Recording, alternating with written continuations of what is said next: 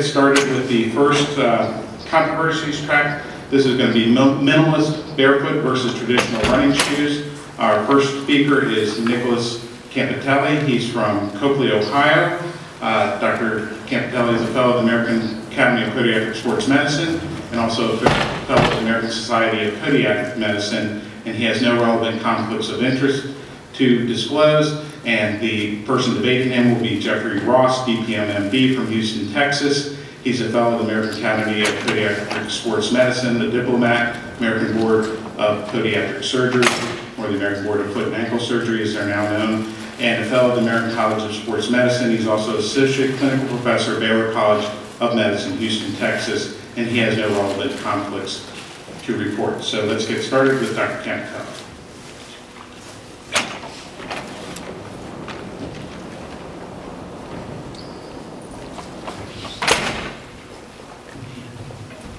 Thanks for coming. Thanks uh, to the APMA for inviting me to speak. I'm really excited to be here to talk about this controversial topic. It's very dear to my heart, so without further ado, let's get started. I only have 15 minutes to get through this, and it's definitely not enough time to discuss it.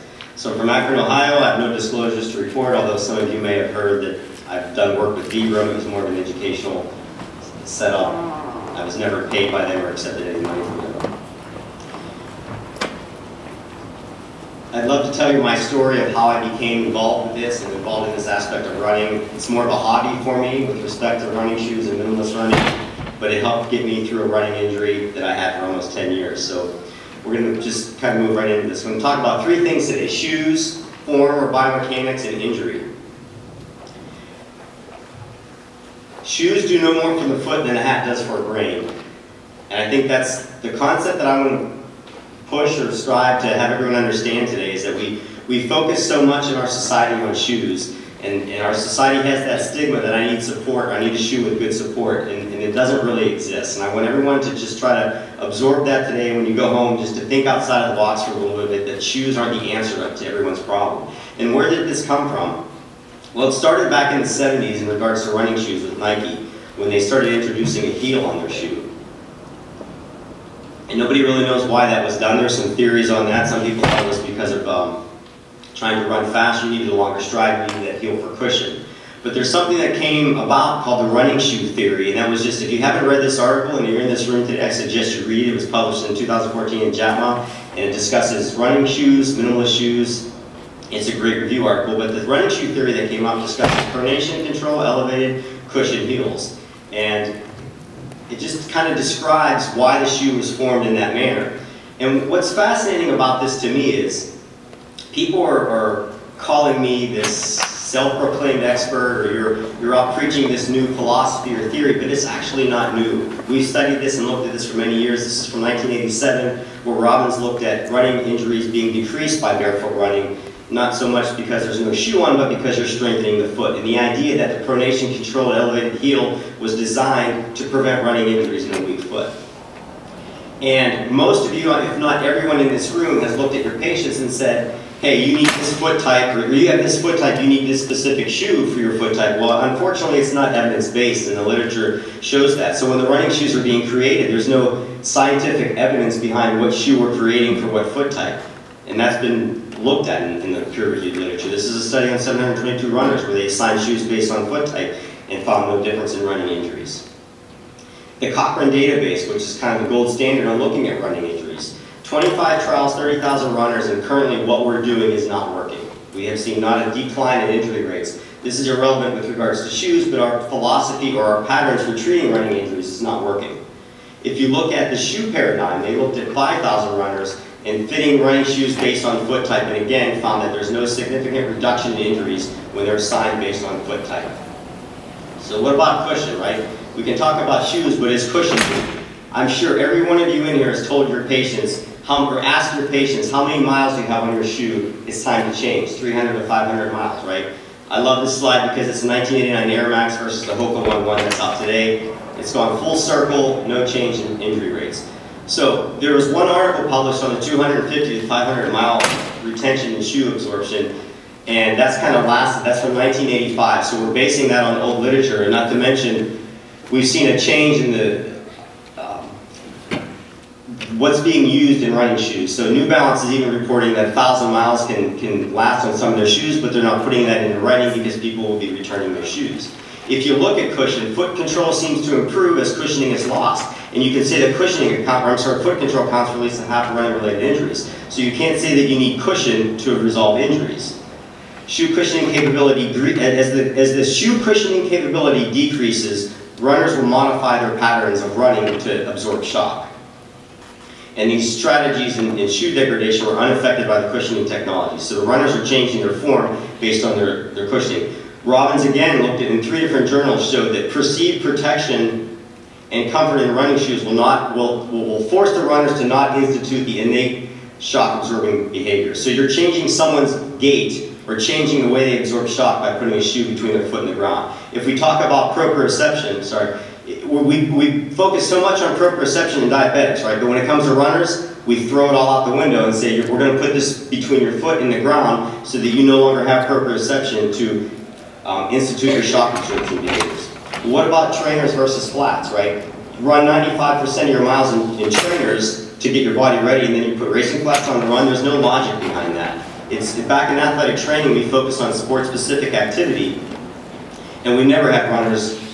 You wouldn't want someone to train the way they're not going to run. And even studies have looked at that and recommend tra gradually transitioning. When we talk about surfaces, the naysayers will say, well, our feet weren't designed to run on concrete. That's a topic for another discussion. But when you look at the surfaces that are out there, we have no evidence that running on hard surface causes any increase in impact forces or an increase in running injuries. and this is back from 86 all the way up to 2007. When you look at the surfaces, the, the, the capacity of pushing to reduce the impact forces is also being called into question with regards to the injury rates. And again, as I've been mentioning, proprioception is decreased by putting that heavy cushion on your shoes. When you look at asphalt, here's a study that showed that there's actually a decreased risk of Achilles tendon um, tendinopathy compared to running on sand, which will increase the tendinopathy. So where is all this coming from? Why are we running in these types of shoes? Why are these shoes created? Where is this cushioning heel aspect coming from? What's actually interesting, because Vibram was sued for making false claims, but if you go back in history and look at, at, at the literature, not the literature, I'm sorry, the, the ads for shoes, the industry sets the standard it's not peer reviewed, it's not scientifically based. The shoes get sold, the runners wear them, they tell their friends, they sell more, the shoe companies sell more, and that's how it starts. It, it, there, there's no medical based evidence on why running shoes are being made, created, or used. And I have some theories on that, and we can talk about it later. Unfortunately, I don't have the time. But let's talk about biomechanics. When I got involved with this about five or six years ago, I had to bring Root into this, right? Because if not, Many would bring up Root in the, uh, in the topic of debate, but Root actually said that abnormal pronation during stance phase does not produce major symptomatology. So if you have your runners take their shoes off and you look at their foot type, you can't base your decision of shoes because you can't really say that that abnormal pronation during static stance is making a difference. And even went on to say that during locomotion, rarely does abnormal pronation even produce enough symptomatology that would cause an injury. So what is actually pathologic? These are three foot types from a study that we just submitted, and basically what we're saying is that there are variances to foot types, and, and all three of these, are they truly symptomatic or pathologic, or are they just variances? One thing that we did say that is pathologic is ankle equinus, and I'm sure all of us in this room would agree that ankle equinus, which is a decrease of dorsiflexion of less than 10 degrees, could be pathologic, right? The subtalar joint will increase the amount of motion as a result of plantar flexing and uncovering the talar head. Well, what happens when you put your foot into a ASICS gel Kayano that has anywhere from a 13 millimeter to 14 millimeter drop, right? You introduce ankle equinus. You see an x-ray of the foot without the heel, comparing it to an x-ray of a foot with a running shoe with an elevated heel. You can clearly see the ankle equinus that's created. We know that since the introduction of a pronation control elevated cushioned heel, there's actually been an increase, not a decrease, in Achilles tendon injuries. We also know that heel elevation during stance places the ankle joint in a position where proprioception is inherently poor. This is from 2001. And the capacity of existing levels of heel elevation to increase pronation has also been noted, as demonstrated in 1993. The overall impact on injury rates of running an issue with an elevated heel remains untested in clinical trials. I'm sorry, running rates in a running shoe with an elevated cushion heel remains untested in clinical trials. Some that I was supposed to be debating today actually published something in 2014 that shows there's actually an increase in Achilles tendon tensile loads when you introduce a 10 millimeter heel with regards to running.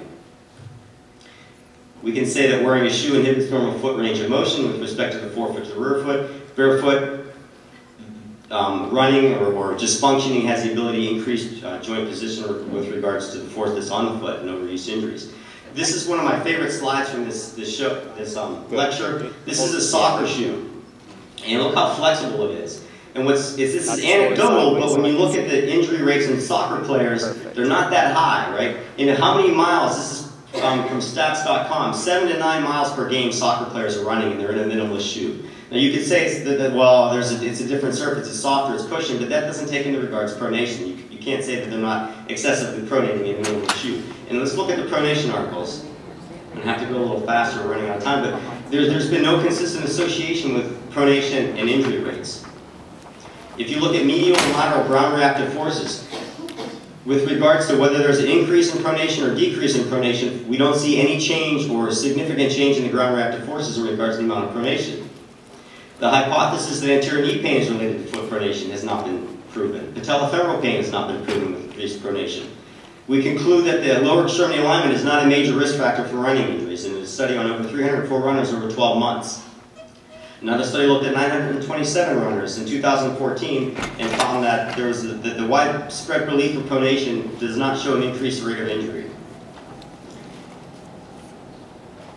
Oh, um, another study, based on the review of literature, there's no definite link between atypical foot mechanics and running shoe injuries, or running injury mechanisms, right? So does pronation actually cause injury? We don't know. I mean, it, my philosophy is that it's the innate shock absorbing capacity of our foot, right? It's a mobile adapter, we'll all agree on that. So when you put a rigid piece of plastic in your shoe, it's no longer a mobile adapter. It cannot feel the ground, it cannot utilize a proprioception to adapt to the ground. Let's talk about strike patterns. This is a very hot topic that um, is being discussed amongst the running industry. Forefoot versus heel. Kevin Kirby utilized this recently in podiatry today to for, for lack of better terminology, to blast me in regards to forefoot striking. And he used this study that said 72% of these Kenyans were heel strikers. But this, this is what's fascinating. When you look at peer-reviewed literature, when you look at studies, you actually have to read them and find out what they're looking at. They looked at 19 subjects who ran 49 feet, and they looked at strike patterns in 49 feet. Well, that's 0.29% of a 5K and 0.04% of a marathon. I heel strike during a marathon, and I don't even, and I think that heel striking is bad. So you can't base it on that distance they were running. It was also done on a habitually barefoot population northern. It doesn't run much, and they live in a very sandy habitat. And they also showed that there was an increase in force in regards to heel impact on heel striking. Lieberman from Harvard did a study in 2012 that looked at 54, I'm sorry, 53 collegiate athletes and showed that there's actually a high rate of injury in regards to heel striking. Here's a study that had more runners than the, than the one that I had mentioned from Dr. Kirby, 46% more, and they showed that majority of these Tara who are, are, are habitual barefoot, are actually midfoot and forefoot striking. And this brings into topic the spring theory that Root never discussed and isn't really focused much on in podiatry or biomechanics. And I don't know if any of you are familiar with the spring theory, but basically what's happening is we've got three joints in our lower extremity, right? We have our hip joint, our knee joint, and our ankle joint. If you're forefoot striking or midfoot striking, or the foot is below the center of gravity, even if the heel somewhat strikes, you need to engage the spring mechanism. If you heel strike, you've thrown out one-third of your shock absorbing capability because the heel is hitting the ground, not utilizing your Achilles tendon, and your gastrocnemius to absorb shock, right? It's simple physics. So why would you heel strike? Why would you eliminate one-third of that spring mechanism? There's just no logic behind it. And what's even more fascinating is when we take a limb off of someone and put a prosthetic on them, what are they doing? They're midfoot striking, right? There's no heel or you don't eliminate that one-third of the spring mechanism, we keep it. So let's talk about injury, right? All the naysayers will say that there's an increase in injury rate when you're in minimalist shoes. Well, if you look at the injury rates over the last 40 years, they've actually stayed the same. So what we're doing isn't working, and you can even say that the injury rates have increased over the last 40 years. I'm going to pick one to talk about, and that's stress fractures. This study came out looking at Vibram and Five Fingers saying that there was an increase in stress fracture rates in those running barefoot. Well, guess what? Anybody that has any understanding of Wolff's Law in, in bones reaction, uh, did I state the right law? Wolff's Law, you're going to increase bone in regards to stress. These two runners did nothing more than change their shoes. Of course they're going to get a stress fracture. You need to gradually transition. Both of them got stress fractures because they did nothing to their training patterns other than change the shoe. So their foot wasn't ready for it. What about plantar fasciitis? In our practice, we've eliminated orthotics and uh, structure pushing running shoes back by practice because we're strengthening the foot to reduce plantar fasciitis. And I think this is the, the, what we're going to see come out of a lot of studies. We're going to see less support for chronic cases because as you strengthen the foot, you start to alleviate the abnormal stress. But this particular study looked at the plantar fascia when it was sectioned and found that there's no inflammatory cells. So is it truly the plantar fascia that's inflamed or is it the abductor hallucis, the flexor hallucis brevis, and you know, the other muscles that insert the same area? We, we find that when we convert people to this particular pattern of barefoot or minimalist running, they strengthen, strengthen the abductor hallucis. And that's what Lieberman recently showed. This is a study that we just did that was um, is being submitted, and we transitioned 12 people. We had 48 total runners, and we showed that there's an increase in girth of the abductor hallucis by transitioning to a minimalist shoe. It's not the shoe, it's the pattern of your running that's changing, that's causing the strength gains in the muscle.